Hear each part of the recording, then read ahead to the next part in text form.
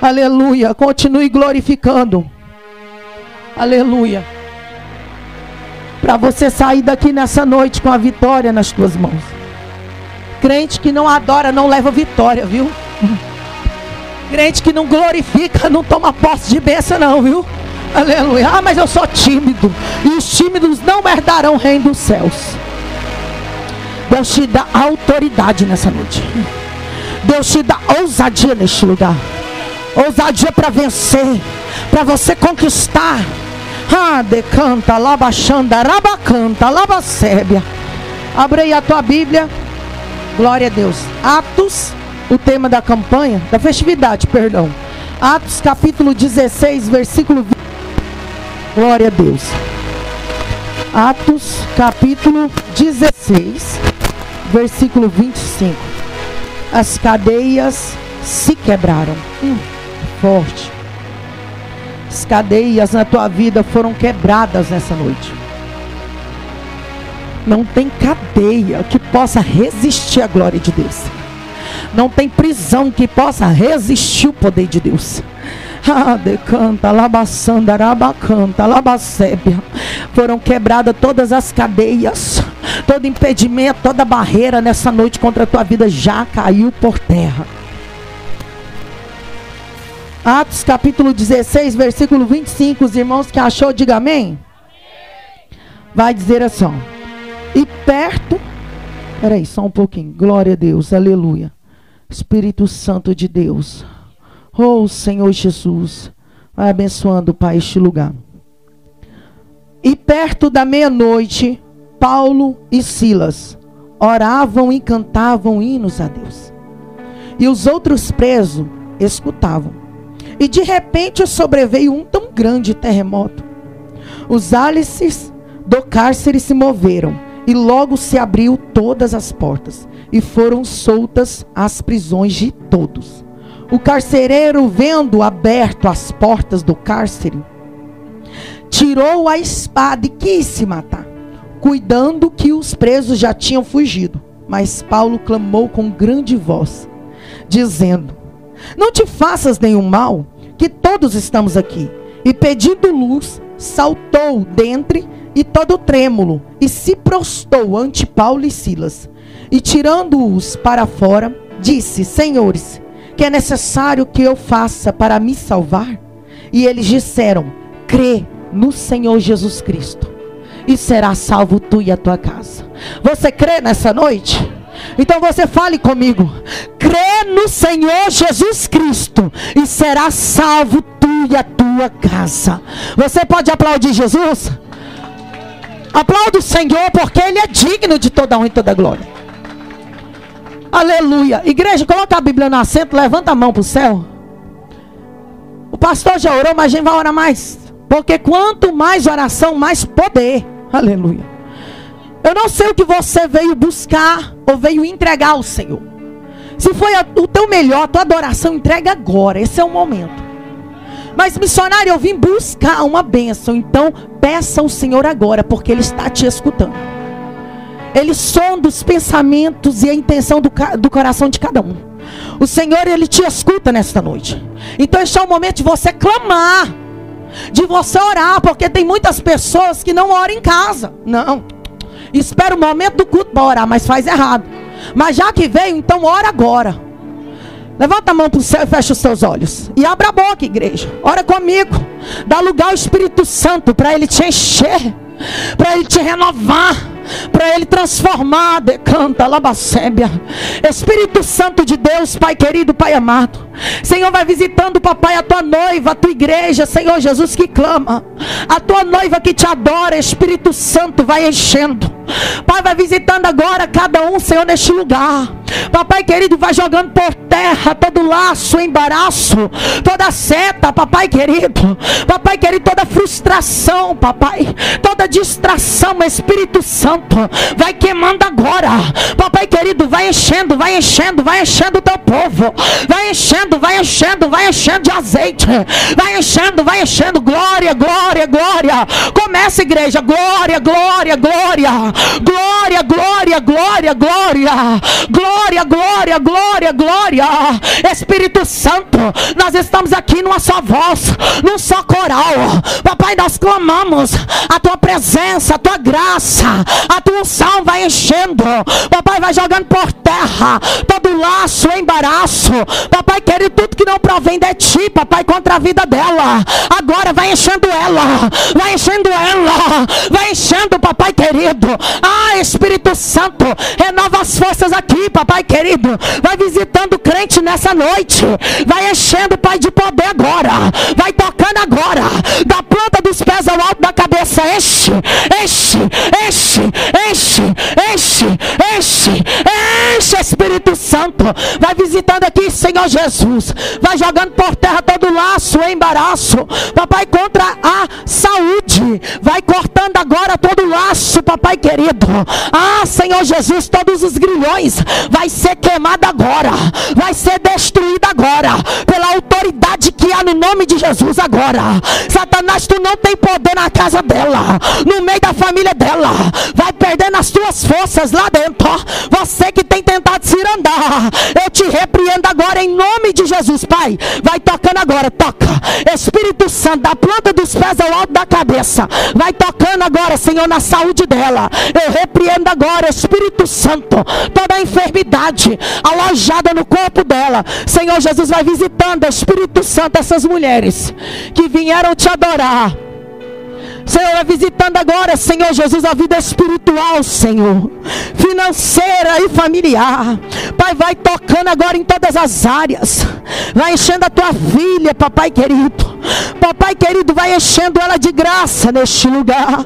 Ah, Senhor, que a tua graça possa entrar, Senhor, na vida dela de uma forma grande, papai querido, nessa noite. Papai, firma os pensamentos dela. Eu repreendo agora todo cochicho. Papai, toda palavra de maldição que foi lançada contra a vida dela. Espírito Santo, vai visitando o Senhor Jesus agora, papai querido. Em nome de Jesus. Amém, igreja? Você pode aplaudir Jesus? Aplauda o Senhor porque Ele está presente nessa noite. Igreja, pode se sentar glorificando a Deus?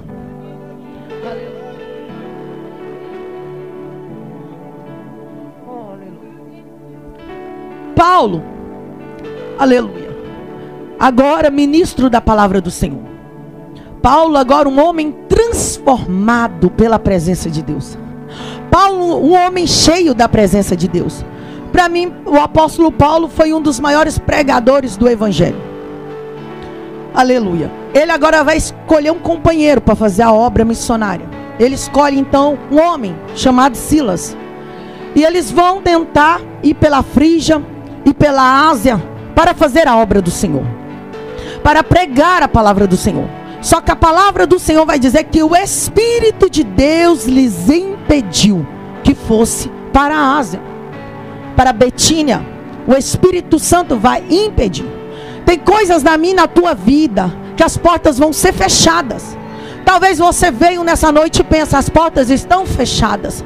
Porque Satanás se levantou, mas o Senhor está dizendo, tem coisas na tua vida que sou eu. É as minhas mãos que vão fechar esta porta. Porque eu não quero que tu sofra nenhum dano, nenhum prejuízo. Decanta, labacébia. Você tem que entender a voz do Espírito Santo.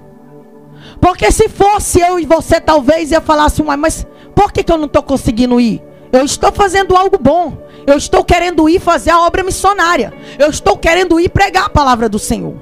Mas o Espírito Santo vai permitir. Talvez se fosse outra pessoa ia falar o que sem visão espiritual? Foi Satanás. Foi o diabo. Porque tem muita gente que é assim, não é, irmão?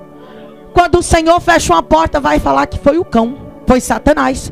Mas você tem que entender nessa noite que tem coisas que a mão do Espírito Santo que vai fechar por causa do processo, por causa do propósito, porque a vitória lá do outro lado vai ser maior na tua vida. Eu acho interessante que agora, aleluia, ele vai ter uma visão de noite. Ele vai ver um homem na visão e o homem vai dizer para ele assim, ó, passa Macedônia e socorre-nos. Apareceu um homem em visão para o apóstolo Paulo, dizendo: Passa Macedônia e nos socorre. Então ele vai, porque ele vai entender que aquilo ali era vontade do Senhor. Nem sempre nós estamos na direção do Espírito Santo. Nem sempre nós estamos fazendo a vontade do Espírito Santo. E o Senhor me trouxe nessa noite para dizer para alguém: permaneça no centro da minha vontade.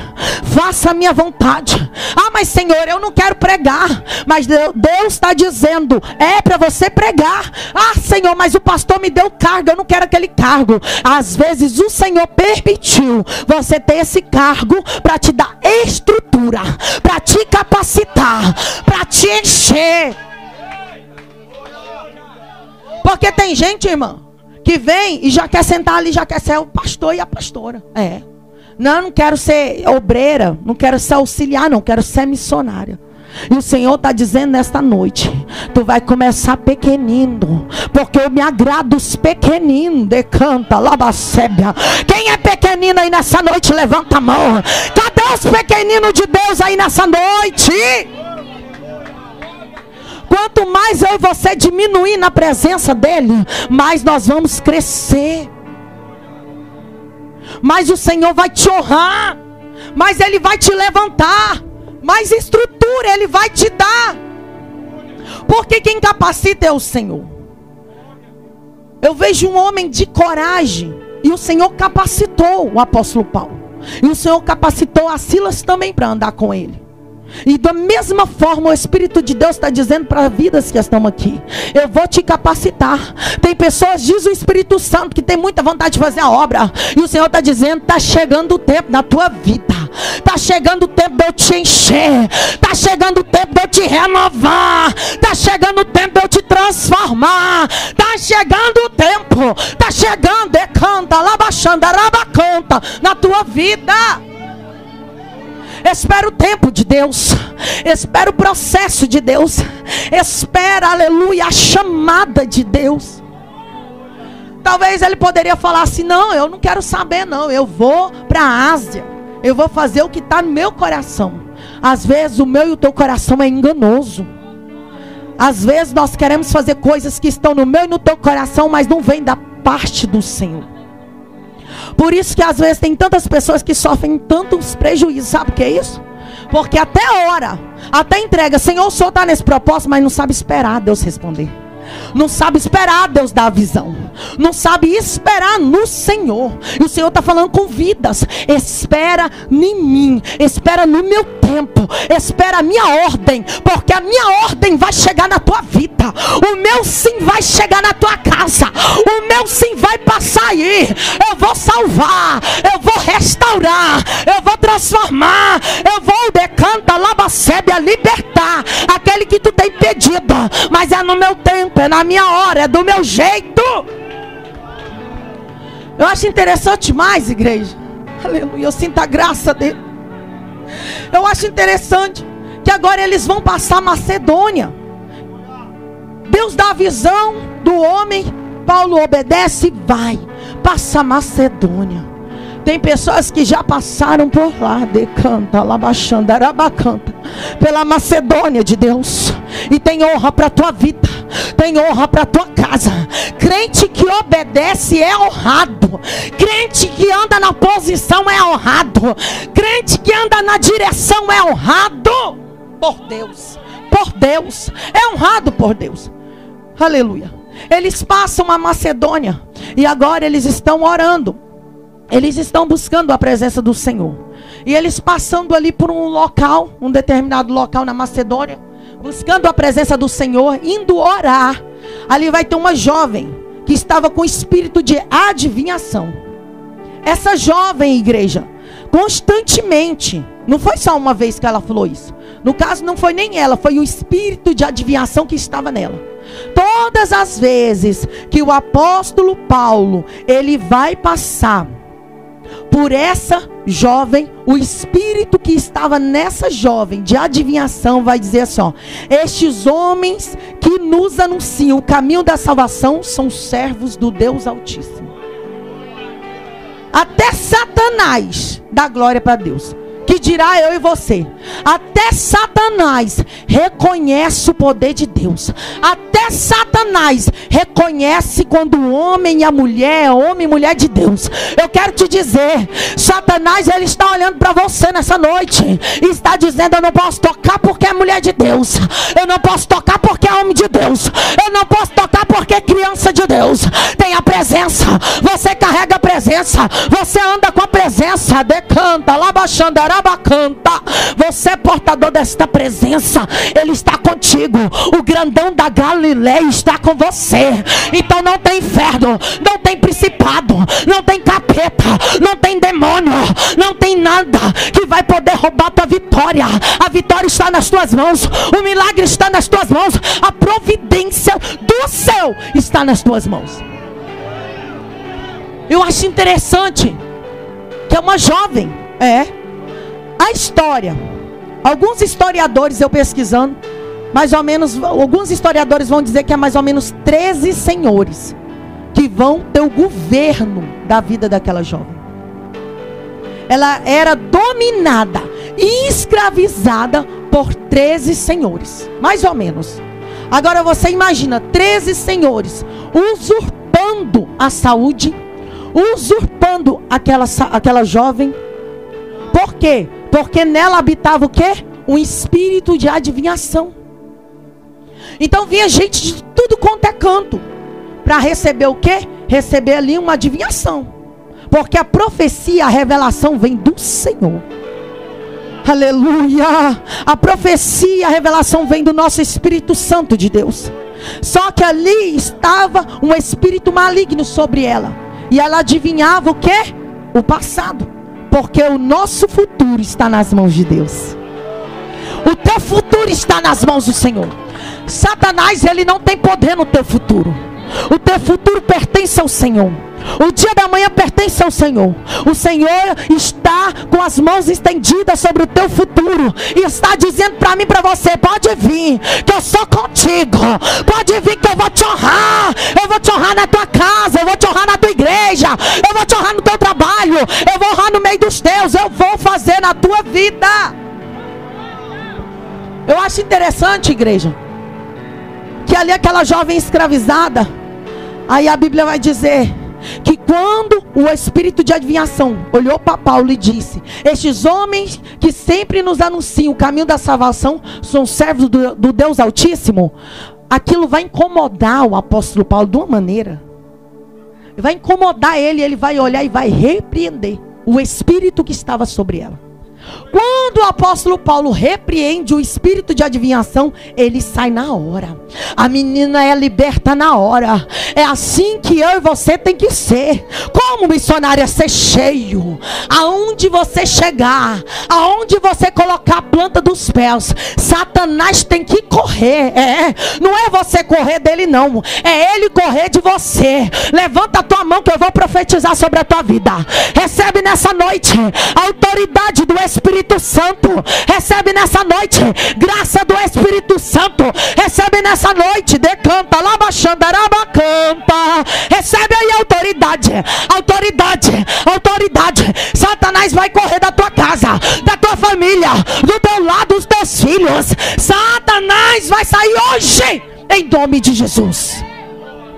Eu acho interessante, igreja. Aleluia. Eu acho interessante demais. Aleluia que ele repreende aquele espírito e o espírito sai. A jovem é liberta. Aí eu te pergunto: que autoridade é essa que tem faltado na vida dos crentes? Na nossa vida. Essa autoridade muitas das vezes tem faltado na nossa vida, sabia?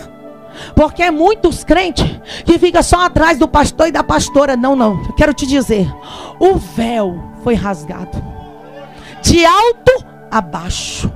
Você tem a liberdade de chegar na presença do Todo-Poderoso e prostrar e Ele te escutar, Ele falar contigo. Quando você está lavando vazio, o Senhor te escuta. Quando você está na tua casa, Ele te escuta. Quando você está no teu quarto, Ele te escuta. Quando você está no teu trabalho, Ele te escuta. Ele escuta os teus pensamentos. Ele sonda o teu coração. Para com isso de ficar dependente. Porque é um negócio de seis horas por mim. Seis jejuma por mim. Falta alguém dizer, seis lê a Bíblia para mim. É. Não é verdade, varão? Tá desse jeito.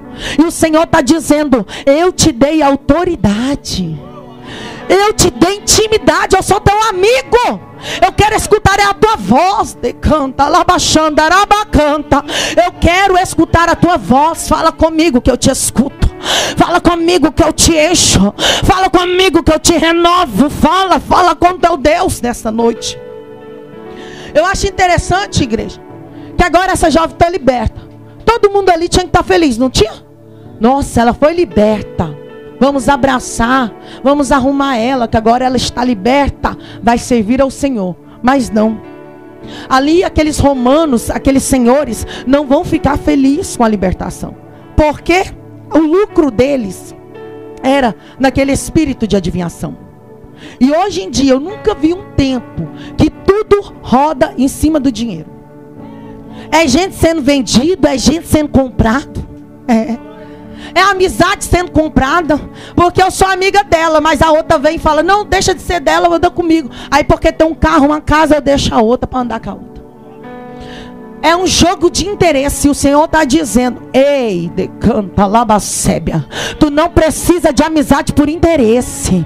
Tu não precisa de andar com ninguém por interesse. Eu sou o dono do ouro, eu sou o dono da prata. Ele tem poder para te dar. Ele tem poder para te dar o carro. Ele tem poder para te dar a casa. Ele tem poder para te abençoar. Ele tem poder para tocar as tuas vestes. Ele tem poder. Ele tem poder para encher o teu celeiro. Ele tem poder para abrir a porta hoje de emprego. Tu não precisa de querer amizade de ninguém em troca de algo. O teu Deus é dono do ouro e da prata. Os senhores dela não vão se agradar. Eles não vão ficar contentes. Por quê? Porque a esperança do seu lucro já se foi. Agora eles vão perder o dinheiro. Então eles vão fazer o quê? Vão colocar Paulo e Sila em praça, em praça pública na frente de todos os romanos, na frente de todos os cidadãos, na frente de todo mundo ali, eles vão colocar Paulo e Silas. A palavra do Senhor vai dizer: Glória a Deus, aleluia. Que quando eles colocam Paulo e Silas, até na presença dos magistrados, eles vão, aleluia, bater, açoitar Paulo e Silas. Igreja, agora você imagina comigo. Paulo e Silas aqui, eles arrancando a camiseta, arrancando a roupa deles e açoitando em praça pública, batendo neles por pregar a palavra, batendo neles por falar a verdade, batendo neles por servir a Jesus. E eu e você tem a oportunidade de adorar sem apanhar. E não adora. Ah, hoje eu vou para o culto só para ver a pregadora. Hoje eu vou para o culto só para mostrar para o pastor que eu fui. Hoje eu vou para o culto, mas só para ver a irmã que cantou. Hoje eu vou para o culto para fazer bonito. Mas não é para Deus, não, é para me aparecer para o homem. E o Senhor está dizendo para você: você tem a oportunidade de me adorar, de me glorificar nesse momento, porque enquanto dá glória aqui, Ele está aqui. Enquanto adora aqui, Ele está aqui. Você tem que entender, decanta. Que a tua adoração ela move a mão de Deus. A tua adoração ela move o céu nessa noite. A tua adoração move a mão do Senhor ao teu favor. A adoração que tu adora com toda a tua alma aí, ó, ela está movendo, ela está movendo a mão do Senhor ao teu favor. A tua adoração ela move a mão do Senhor. Você entende isso nessa noite? Eles estão apanhando, pastor. Estão sendo açoitados. Eu imagino as mãos presas e as costas todas rasgadas. Talvez poderia pensar se fosse eu, se fosse você ia falar o quê? Servir um Deus desse? Vou apanhar de graça. Olha, Espírito Santo, deixa eu lhe falar. O Senhor mandou eu vir aqui. Eu fiz a tua obra. Eu orei por libertação. Aquela menina saiu daqui, ó, livre, liberta. E agora o Senhor permite. É. Sabe por quê? Os crentes de hoje faltam arroz. Ah, não vou servir Jesus mais não. Deus não é dono do ouro e da prata, tá faltando arroz, eu vou parar de servir ele. Ah, faltou a roupa. Olha, eu não vou pro culto não. Sabe por quê, pastor? Porque as irmãs vai tudo com roupa bonita, os irmãos também, eu não tenho uma roupa para ir. Vem de havaiana, vem descalço, mas vem adorando. Aleluia. Ah, não vou para a igreja não, sabe? Porque eu não tenho uma prancha. Eu não tenho uma chapinha para arrumar meu cabelo. Vem descabelada, mas vem adorando. É? Você já viu que as igrejas mais simples, que o povo mais simples é onde a gente sente a presença de Deus? Igreja, eu vou muito em igreja. Eu vou em igreja. Hoje eu estava comentando isso com meu esposo. Igreja que é a coisa mais chique, pastor, do mundo. Você não sente nada. O Senhor habita no meio da simplicidade. O Senhor agrada dos humildes. O Senhor agrada da tua humildade. Aleluia. Igreja, eu acho interessante que eu não vi nenhum momento Paulo e Silas reclamar, murmurar, maldizer. Eu nunca vi, pastor, um tempo igual esse que a gente vive, de tanto crente que murmura, tanto crente que reclama, reclama de tudo, igreja. Você já percebeu? Não é só vocês, não, é todo mundo. Todo mundo, ninguém aqui é santo. Todo mundo é pecador, né? Então, todo mundo reclama. Eles não murmuram, não reclamam, apanham ali caladinho aí agora. Apanhou, foi livre? Não. Agora eles vão parar na prisão. Eles vão parar pri prisioneiro, vão ser presos no cárcere interior. Vamos fingir que aqui é um cárcere. Aqui tem um cárcere. Aqui tem alguns presos, né? Aqui esse preso estrupou, esse preso ali matou, esse preso ali roubou. Ali matou a mãe, ali matou o pai. E Paulo e Silas está onde? no interior. Eles estão aonde tinha que ficar os bandidos mais perigosos, pastor. Eu achei um absurdo. Mandaram prender. E, e é com as mãos soltas? Com os pés soltos? Não. Coloca eles no tronco, dentro do cárcere interior, ainda prende as mãos e prende os pés deles. Imagina eles lá em Cuidim, todos presos. Lá no fundão, no fundão do cárcere interior. Agora você imagina comigo. Aleluia.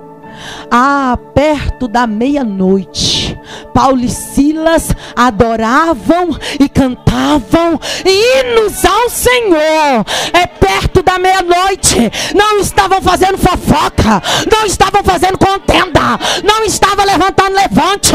Ei, não estava perseguindo o pastor, não estava perseguindo a pastora, não estava perseguindo as obreiras, não. Não estava perseguindo a tua vida, não. Não estava falando mal de mim, de você. Não estava falando mal de ninguém. Estavam cantando, adorando.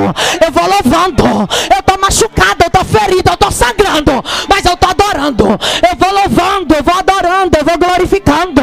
Ei, eu quero te dizer, tu quer ser livre dessa cadeia, dessa prisão. Tem que adorar. Tu quer ver salvação, tu quer ver libertação. A gente quer tanta coisa, mas não adora, não adianta.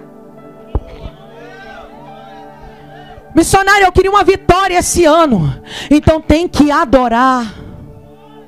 Tem que glorificar. Tem que louvar ao Senhor. Aleluia. Perto da meia-noite. Paulo e Silas estavam cantando e adorando, louvando hinos ao Senhor. E os outros presos missionários estavam escutando a adoração. Eu quero te dizer que a tua adoração tem poder.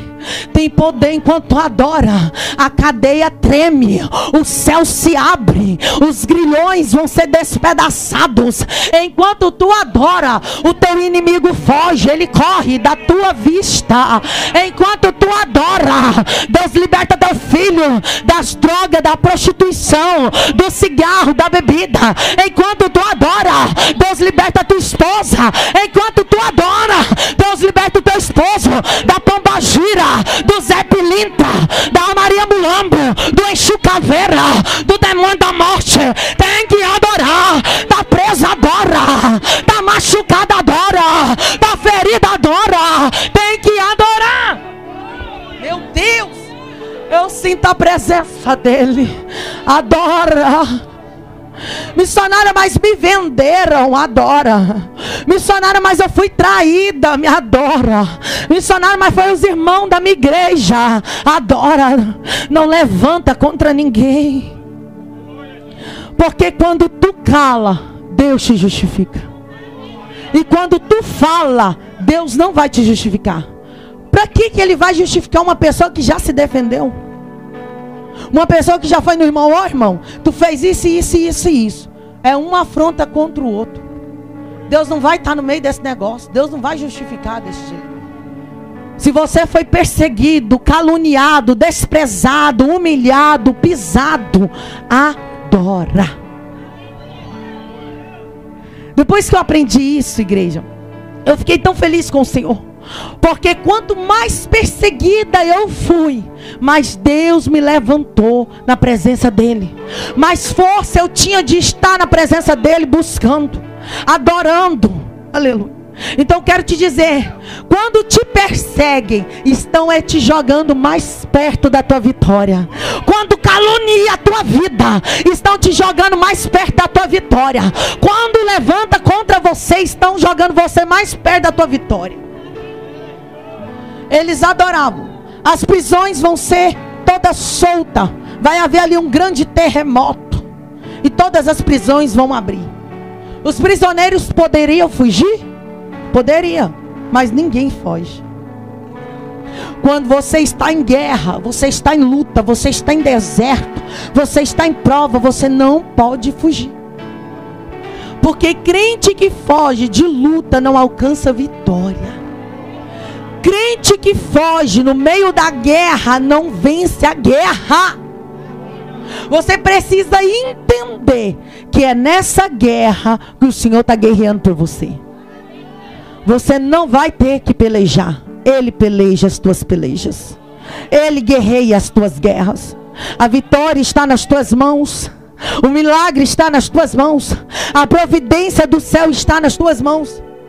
Igreja, eu acho interessante que agora, quando as prisões estão todas soltas, o carcereiro vai ficar louco. E ele vai puxar a espada para ele matar ele mesmo. De desespero, de imaginar o dono daquela prisão indo lá e pensar que todo mundo tinha sido solto. Quando ele vai puxar a espada para se matar a si mesmo, Paulo vai dizer: Ei, não te faças nenhum dano, porque todos nós estamos aqui.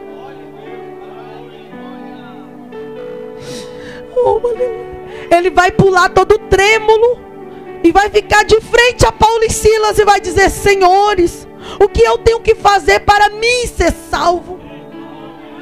Paulo e Silas vai olhar e vai dizer: crê no Senhor Jesus Cristo. Crê no Senhor Jesus Cristo.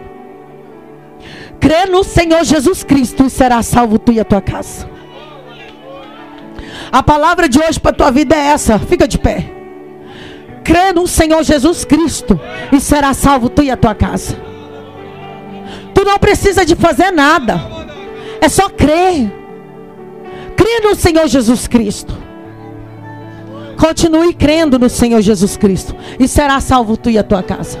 Crê no Senhor Jesus Cristo e serás tu, salvo tu e a tua casa. Crê no Senhor Jesus Cristo e será salvo tu e a tua casa.